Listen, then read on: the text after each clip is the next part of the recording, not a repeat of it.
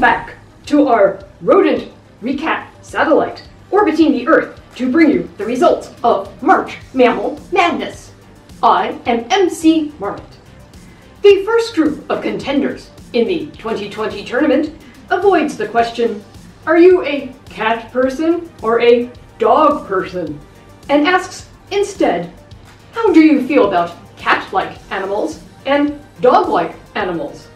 It's Feliformia versus Caniformia in the catsish versus dogsish division.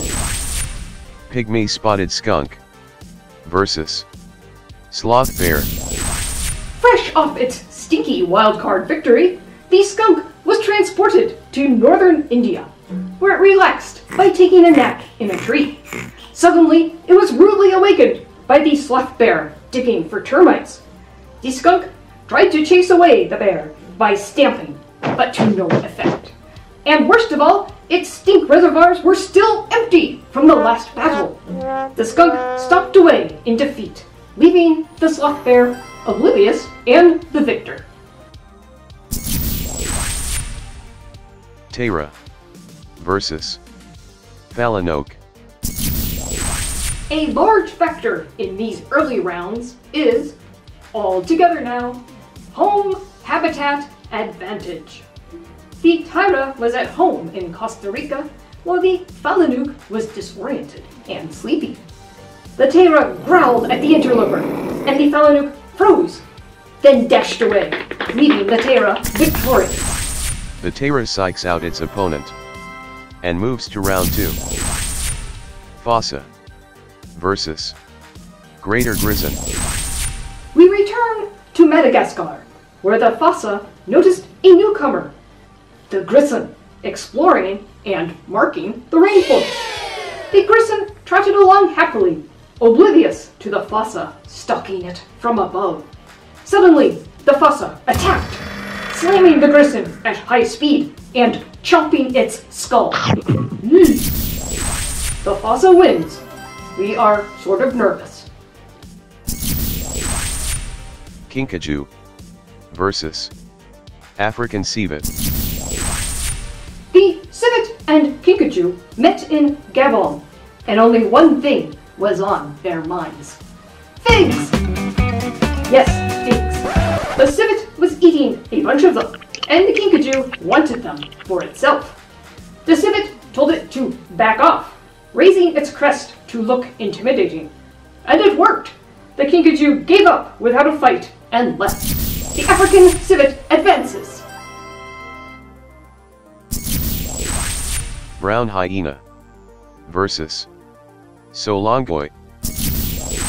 The Solongoi found itself in Botswana, a fur piece from its native Siberia. As it looked around, it caught the eye of a curious hyena, which approached. The spunky Solongoi stood its ground and snarled, then sprayed the hyena. The hyena was, eh, I've smelled worse, and kept approaching. The Solongoi decided not to press its luck, and disappeared down a nearby hole. Solongoi! A strong stomach and an intimidating presence gives brown hyena the victory. Giant forest genet versus European badger. This battle was another instance of, all together now, home habitat advantage. The Genet was transported to the chilly Swiss Alps and wandered right into the well-worn path of a hangry badger. The badger wasted no time in making a meal of the unfortunate Genet and moved on. Hanger is an energy. The badger advances. Red panda versus spotted linsang. High in the trees of China's Yunnan province, the red panda was foraging for food. Suddenly, it heard a mysterious rustling nearby. It was the spotted linsang, also hunting for food. The linsang was surprised, but the panda was not. It was ready for a fight and swiped. The linsang, missing some fur, scurried away. The red panda advances. Caspian Seal versus Common Cusimanse. MC, I am here to report a most shocking development.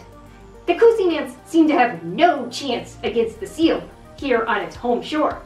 But it leapt into battle anyway, and it turned out that the seal was not in top fighting form. Did you know the Caspian seals have outbreaks of canine distemper? Huh? It's true. And this seal was so sick that it couldn't hold its own against the Cusimanse. Boy, what an upset! The Cusimanse advances. Brr, it's cold. Hey pal, can you beam me down some tea? Earl Grey? Hot? Wah! Thanks. March Mammal Madness is truly underway, with carnage, upsets, and a lot of running away.